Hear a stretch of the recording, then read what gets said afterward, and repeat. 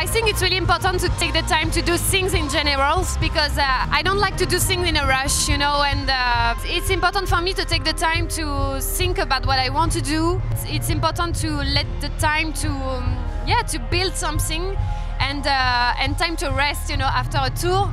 It's always so intense and so crazy that you have to just to stay at home and take the time to um, just enjoy to do nothing and it's important to let the inspiration come again. And um, and so that's why I always took the time you know to um, to do a new album. I don't want to to do something quickly and not be proud of it. So it's uh, it's I, I, know it's kind of long sometimes but I'm I prefer to, to do things like that